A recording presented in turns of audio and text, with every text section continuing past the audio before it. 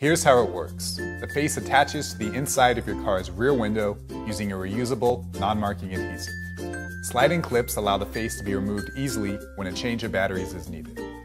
A small, easy-to-use remote slides onto your sun visor just like a garage door opener.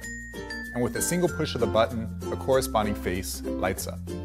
Colors include blue, pink, and green. Switching colors is fast and easy.